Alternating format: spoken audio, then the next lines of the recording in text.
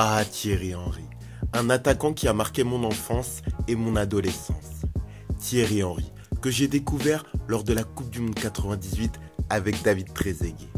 Première célébration face à l'Afrique du Sud. La joie, le sourire, les frissons, une course pour échapper à Marcel Desailly et filer vers le poteau de corner. Magnifique. S'arrêter au poteau de corner, comme pour arrêter le temps, savourer le moment présent, se rendre compte de ce qu'il vient d'accomplir. Cette célébration me marquera pour toujours, alors que il ne l'a pas fait si souvent, je crois, avec le recul. Au fur et à mesure des célébrations, le sourire s'efface pour laisser la place à l'impassibilité, au regard dur de tueurs des surfaces, au capitaine des Gunners d'Arsenal, fier, admiré et redouté par tous les grands d'Angleterre. C'est vrai que le Thierry Henry, gamin, joyeux, innocent, donnait envie de sourire également. Mais c'est comme ça.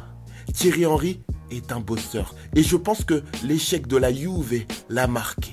Il a tellement bossé, plus que les autres. Il a répété ses gammes encore et encore, jusqu'à la perfection, comme pour son enroulé petit filet. Je sais que ce n'est pas dans les mœurs françaises, mais n'a-t-il pas mérité de se la raconter